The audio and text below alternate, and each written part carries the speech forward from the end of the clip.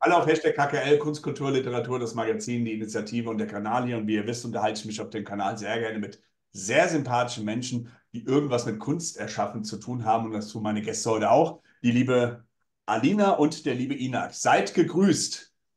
Hallo. Hi. Ja, schön. Wir hatten ja schon mal das Vergnügen und wir haben jetzt heute nochmal das Vergnügen. Ich möchte erstmal von euch nochmal wissen, ähm, wie hat es angefangen, warum, weshalb, wieso habt ihr das Schreiben als Ausdruck gewählt? Was ist passiert oder welche Auslöser waren es? Wir fangen mit der Dame an, liebe Alina.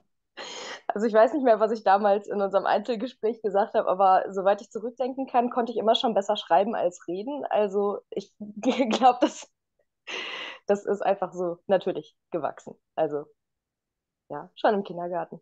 Okay. Ja, Inat, wie war das bei Ja, dir?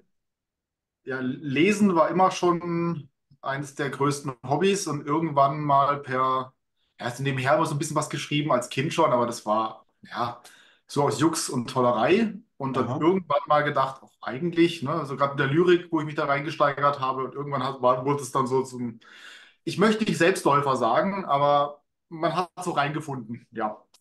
Ja, schön. Ähm, wir kennen uns ja jetzt dadurch, dass ihr selber schreibt, aber wir kennen uns auch dadurch, dass ihr auch ein Medium habt. Ich nenne es mal so. Das heißt äh, 16 Seiten und hinter der 16 kommt auch noch mehr. Ähm, eine erste Frage ist, ähm, die 16, ist das eine mythologische Zahl in dem äh, Sinne oder wie, wie kam es zur 16? Ja, die 16 Götter der Lyrik, nein. Äh, Ähm, tatsächlich, also das Ganze äh, basiert eigentlich auf dem Verein Kein Verlag e.V., der gegründet worden ist aus dem Forum Kein Verlag von Mitgliedern. Und damals wurde dann, ähm, haben sich einige Mitglieder Gedanken gemacht und überlegt, es wäre doch eigentlich schön, eine äh, Forumszeitschrift zu haben. Und die dann halt vielleicht eventuell auch ausgeweitet werden kann. Das war auch, wurde auch gedruckt am Anfang und es waren halt 16 Seiten. Deswegen hieß die dann 16 Seiten. Okay. So, die war aber nicht so ganz langlebig und irgendwann haben wir de facto dann also vor ein paar Jahren entschieden, das wieder aufleben zu lassen, dann erstmal halt als digital, in digitaler Form mit dem Gedanken, vielleicht ergibt sich ja irgendwann mal die Möglichkeit, doch wieder Printmedium daraus zu machen, aber ähm, das haben wir jetzt schon länger nicht thematisiert. Von daher. Okay, also die 16 ist ein Zufall, sage ich mal so, weil damals 16 Seiten rauskam und deswegen heißt sie so, ähm, äh, liebe Alina, und deswegen habt ihr das gar rein marketingtechnisch auch ähm, äh, so, so gelassen. Aber ähm, was oder wen veröffentlicht ihr denn da oder wer darf denn da veröffentlichen? Was muss man tun, um da auch Also mit veröffentlichen zu dürfen? ja, also im Prinzip jeder. Das ist vollkommen unabhängig vom Genre, vom Talent, von der Mitgliedschaft bei uns im Verein. Also wer irgendwas zu sagen hat, zu schreiben äh, oder auch Musik macht oder Kunst oder sonst was, der kann sich bei uns melden und ja, kriegt dann da eben seine kleine Bühne auf Der darf aber auch schon einen Verlag haben, weil der, der, der Verein Ja, heißt ja, glaube ich, ein Verlag e.V. Ne? Und ähm, das da war Ja. aber damals so ein bisschen die Idee, ähm, auch solche Menschen mitzunehmen, die bis jetzt noch keinen gefunden haben, oder war das einfach nur ein, ein Spaß? Also der, der Verein selbst ist ja aus dem Forum erwachsen, aus dem Literaturforum. Das, äh, der Jan Zenker, da, wann hat er das gegründet? Anfang der 2000er, glaube ich schon. Ist schon ziemlich alt, das Forum. 2004 meine ich, ja, Nee, 2003.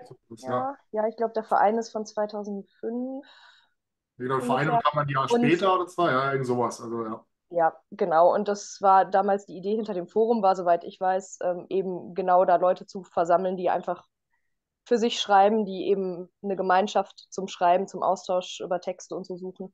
Und dementsprechend heißt der Verein einfach genauso. Aber lustigerweise verwechseln es sehr viele Leute ähm, mit einem mit einem Verlag. Also gerade der Webmaster, der bekommt, glaube ich, sehr, sehr viele Zuschriften und E-Mails, die äh, ihn dann doch bitten, Texte zu veröffentlichen und weiß ich nicht was. Aber nein, also bei uns kann sich jeder melden und ähm, wenn jemand schon einen Verlag hat, äh, ist es Aber natürlich eine auch. Frage der Rechte, was äh, wir dann veröffentlichen dürfen. Aber Mhm. das wissen die Leute dann schon selber. Und es ist ein klassischer Verlag, sage ich mal so, der mit Literatur und Kunst, glaube ich, auch zu tun hat. Und ähm, ähm, jeder kann auch da Mitglied werden. Oder habt ihr nicht so klassische Mitgliedschaften? Doch. Äh, Doch, nee, also also, wir sind ja kein also ein Verlag. Verein sind wir eigentlich. Also der, der Name basiert wirklich nur aufgrund äh, vom Forum. Das hat, also wir sind kein Verlag in dem Sinne, wir haben zwar Anthologien oder der Verein hat Anthologien veröffentlicht im Laufe der Jahre, aber ähm, hat alles in Eigenregie. Also wir haben da jetzt keine eigene Druckerpressen oder was ich was. Also das ähm, ist dann eher auch wieder aus einem, aus dem Interesse heraus alles entstanden. Also wir sind einfach ein Verein, der versucht halt gerade unbekannten Künstlern, jungen Künstlern im Idealfall auch, also gerade am Anfang sind eine Bühne zu geben. Mhm. Ähm, das sind jetzt die 16 Seiten und wir hatten ja auch bis diese unsägliche Corona-Zeit hatten wir auch jedes Jahr unser Zusammenkunftsfestival, Mhm. wo wir dann quasi Autoren mit anderen Künstlern, also sei es jetzt Musik, bildende Mhm. Kunst, Fotografie, zusammengebracht haben, die dann zusammen Werke generiert haben, die dann auf der Bühne präsentiert haben. Das war so ein großes, großer Mhm. Abend. Ja. Ja, Also und gar nicht Verein, Da äh, kann auch Verlag. jeder, jeder konnte da sozusagen auch mitmachen. Und ähm, habt ihr irgendwie so eine, bei eurer Auswahl, wer was einsenden darf, habt ihr da mehr Lyrik oder mehr Kurzgeschichten oder Essays oder ist das völlig egal? Jeder darf gerne was für die 16 Seiten zum Beispiel einfach einschicken. Oder habt ihr auch Themen? Also grundsätzlich darf jeder themenunabhängig. Ich glaube, ich würde mal sagen, wir haben mehr Lyrik, oder? Mhm. Ja, Im Großen und Ganzen ja, wobei die letzten Beiträge waren doch eher mehr Prosa tatsächlich. Prosa, ja. Also was noch so ein bisschen hinter, hinten dran hängt, ist äh, bildende Kunst. Da haben wir nicht so, nicht so viel und Musik haben wir, glaube ich, erst ein oder zwei Beiträge tatsächlich in den ganzen Jahren bisher. Also gerne mehr. Mhm. Was aber auch viel so Crossover-Geschichten sind. Also viel sind Ja. das dann Leute, die eben auch äh, literarisch zugange sind. Ja. Bin mir auch nicht sicher, ob Leute, die jetzt wirklich nur in der Musik unterwegs sind, uns äh, da auch finden würden, gezielt. Wahrscheinlich werden wir nicht die primäre Anlaufstelle, nein, aber Mhm. schön fände ich es trotzdem. Ja, was, was ich persönlich auch äh, sehr mag bei euch sind diese Worte der Woche, Worte des Monats und so, weil ich mich auch äh, sehr gerne mit Worten aus verschiedenen Sichtwinkeln und Blickwinkeln, sage ich mal so, beschäftige.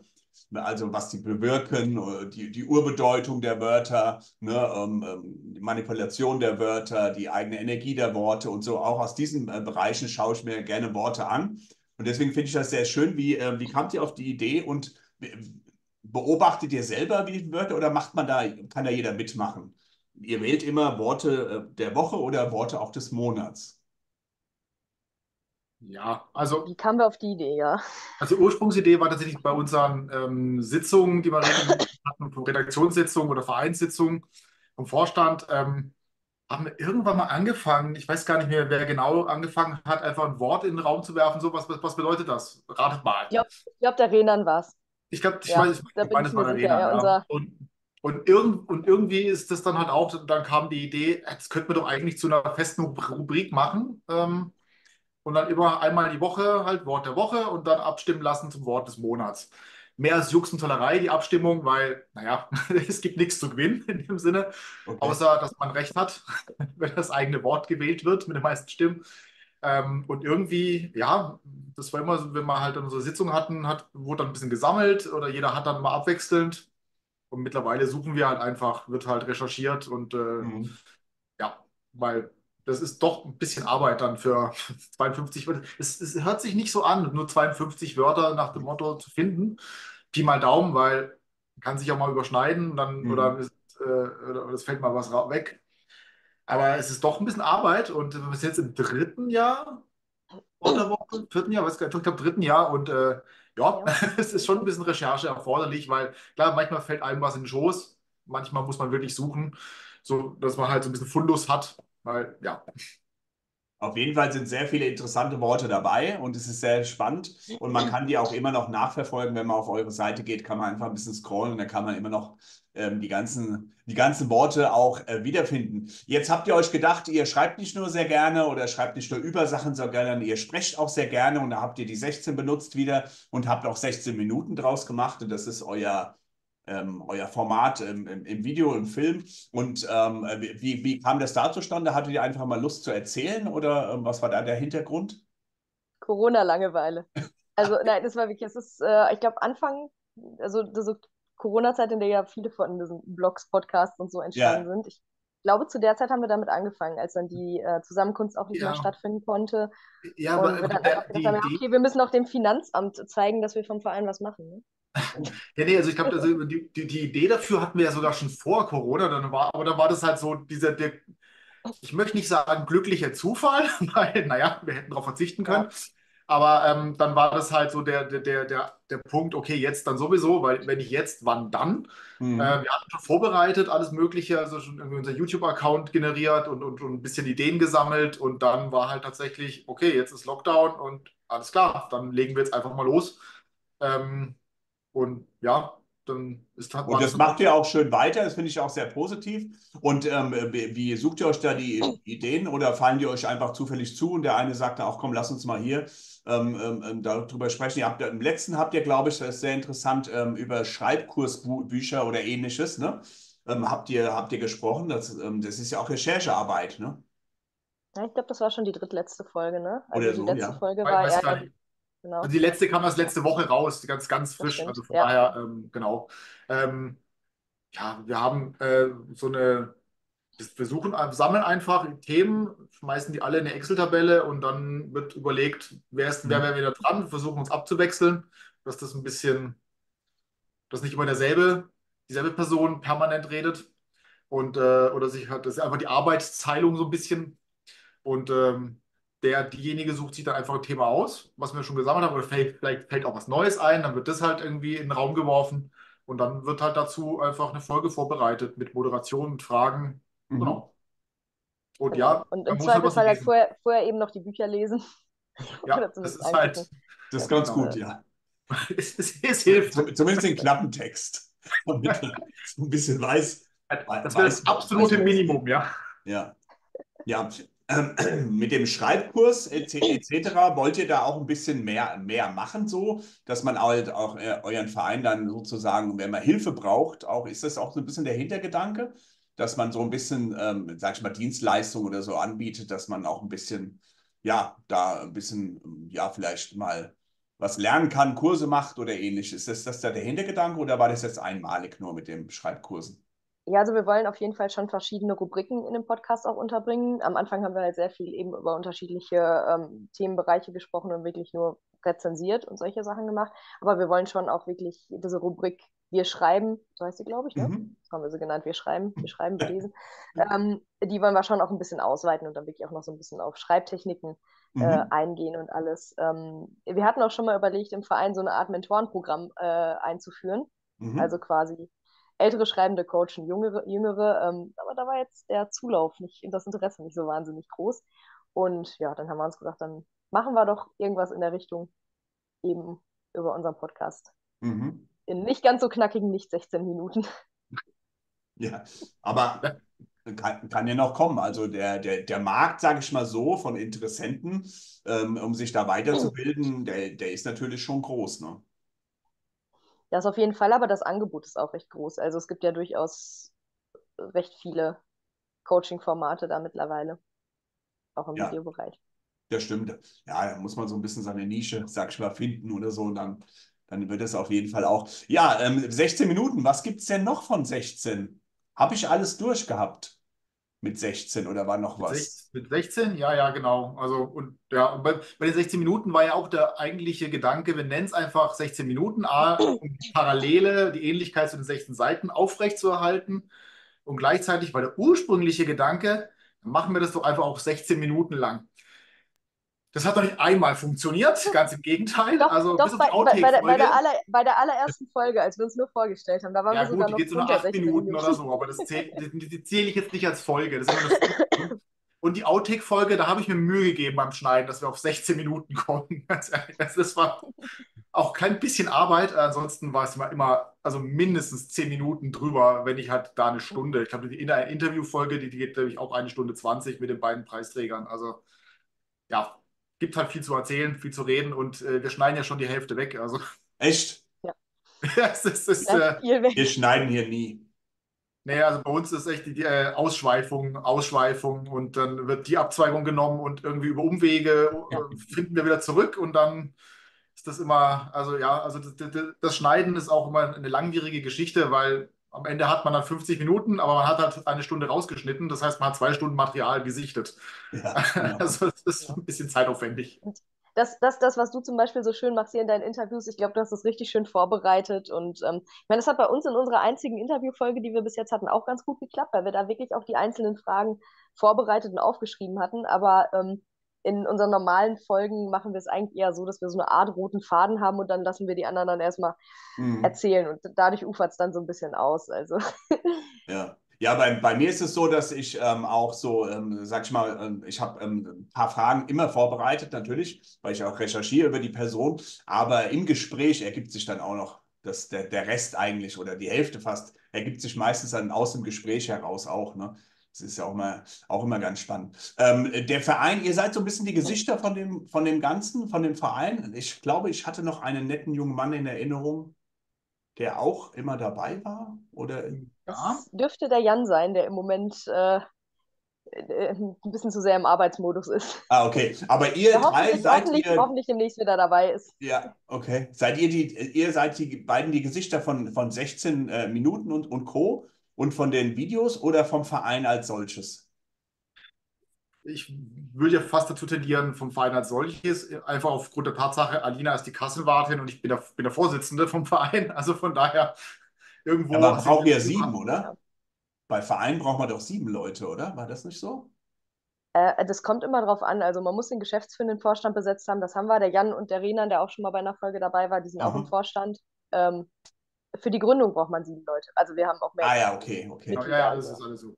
Ja, ja. Also, aber also ich formuliere es mal so: äh, momentan sind, machen wir zwei quasi das Haupt, den Hauptteil der Arbeit oder halt der, ja, der Vereinsarbeit einfach ja. aus. Ja. Wollt ihr denn wieder dorthin kommen? Corolla ist ja vorbei. Ähm, wollt ihr wieder dahin kommen, dass ihr auch diese Veranstaltungen wieder macht? An und für sich gerne. Ähm, die, die, Problematik ist halt eher äh, das Finden einer passenden Location dafür. Weil da, wo mhm. wir es davor gemacht haben, geht es halt jetzt nicht mehr, aus diversen Gründen. Und das ist halt nicht so einfach. Zumal wir als Verein, also wir sind ein deutschlandweiter Verein, das heißt, wir sind komplett verstreut äh, in, in, der ganzen Republik. Deswegen ist das so ein bisschen, mhm. äh, das erschwert die Sache so ein bisschen, wenn man halt äh, niemanden hat oder nicht zwei, drei Leute an einem Platz hat, die das quasi die Grundlage schaffen können oder halt die mhm. Verbindung haben oder Leute kennen, ist es schwierig, weil so oder so die Hälfte der, der Gäste, der, die reist halt aus ich weiß woher an. Also die, eine Autorin, die wir regelmäßig hatten, die ist aus Norwegen angeflogen dann. Mhm. mhm. Extra jedes Mal für die Zusammenkunft, weil sie halt ausgewandert ist. Aber die kam dann trotzdem jedes Jahr, weil sie das so toll fand. Also ja, aber irgendwann vielleicht, wir, wir haben da so ein paar Ideen irgendwie eventuell, mal schauen. Das, äh, Oder aber auch äh, mal in Kooperation mit anderen könnte man das ja das auch. Ist, ne? Das ist nämlich auch eine der Ideen sozusagen. Raum geworfen. Nee, nee, das ist auch eine der Ideen, die wir haben, der Möglichkeiten. Also wir, wir, wir haben schon unsere Fühler ausgestreckt so ein bisschen, aber das müssen wir jetzt aber ein bisschen, also mhm. wir wollen es nicht übers Knie brechen. Also wenn dann ja. richtig organisiert und dann äh, durchdacht, geplant und ähm, jetzt nicht auf äh, also ad hoc Entscheidungen treffen oder wir machen das jetzt einfach dieses Jahr und irgendwo äh, notdürftig in einer zusammengeschusterten Laube dann irgendwie dieses für eine, äh, das, das muss nicht sein. Genau, da hängt ja schon ein bisschen mehr Arbeit dahinter mit, mit Technik, klar. Aufnahme, Ton und was ich was alles. Also genau. Aber wir haben es in den Raum geschmissen, ein paar Zuhörer waren dabei und äh, scha schauen wir mal, was passiert. Ähm, euer, euer beide Hauptaugenmerk ist ja sowieso, glaube ich, eher die Literatur, wenn mich nicht alles täuscht, bei beiden, ne? Ihr seid eher die Schreiberlinge statt, statt äh, Maler oder Illustratoren oder ähnliches, ja. ne? Äh, ja. Ähm, äh, ja? Okay. Ich denke gerade so an mein, an mein künstlerisches, gestalterisches Talent. Das, das ist super, ne? Es ist nicht existent. Ich glaube, wenn, dann wären wir eher im Bereich Musik unterwegs. Musik, ah, ah. Würde aber auch noch passen irgendwie. 16 ja, Minutes. Ja, also Musik auf jeden Fall. Jim also, Track. Also gezeichnet, gemalt habe ich schon lange nicht mehr. Von daher, das weiß okay. nicht, ob ich da irgendwas aufs Blatt kriegen würde. Aber Musik wäre wahrscheinlich das, was am nächsten noch dran wäre, ja, tatsächlich. Also da, ja. Was ist, denn, ja, was ist denn mit dem Verein und mit dem, äh, was ihr macht gerade aktuell? Und ähm, wo darf denn die Reise noch hingehen? Was habt ihr denn noch vor damit? Erstmal die Alina mal wieder zu Wort kommen.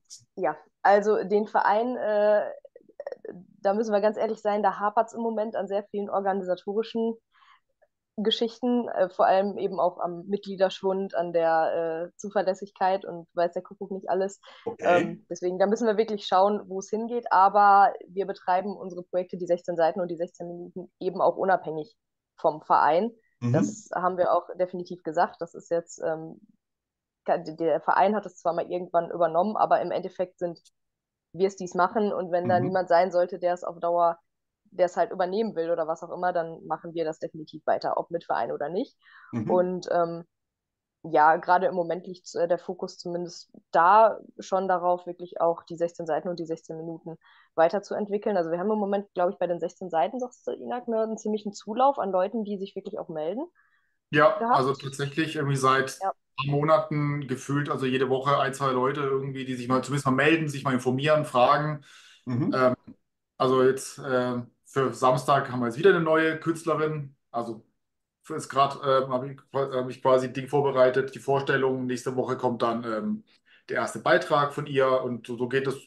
Also es ist so ein bisschen, also es, es, läuft gut bei den 16 Seiten. Einfach der Zulauf ist da. Äh, mhm. Interesse, äh, auch Autoren, Autorinnen, die davor schon was geschickt haben, schicken dann mal wieder Texte oder fragen, ob sie mhm. wieder was senden dürfen. Also das ist, das, das ist ganz gut. Also, also gerne auch, ich würde auch gerne mehr machen in der Richtung äh, für, für die 16 Seiten, aber da fehlt dann einfach so ein bisschen die Zeit, weil es, ähm, der Alltag ist halt auch noch da. Also.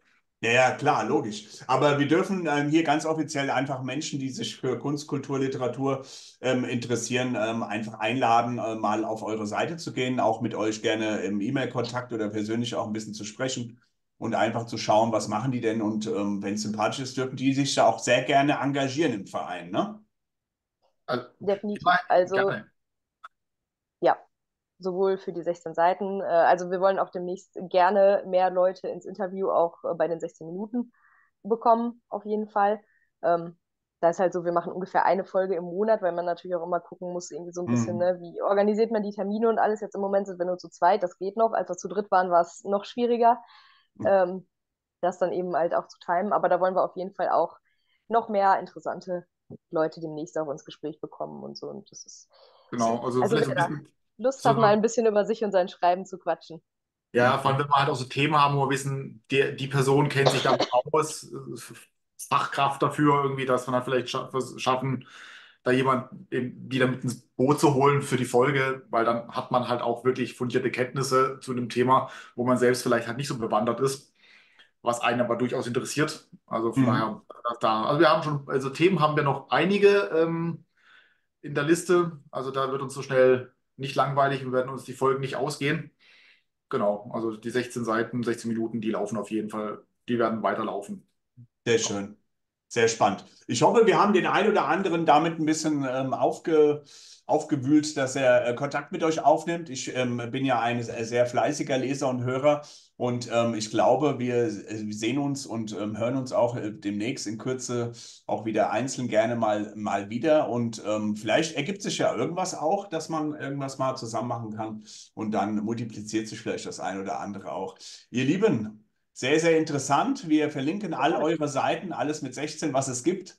Und ähm, wir wünschen uns ganz viel Feedback. Ne? Danke euch fürs Gespräch. Ja, Danke ja, Vielen Dank ja, für die Möglichkeit und äh, sehr gerne alles verlinken. Wir freuen uns über jeglichen Kontakt, über jegliche Autoren, Autorinnen, Künstler, die sich melden. Kann man nie genug davon haben. Also, alles Gute.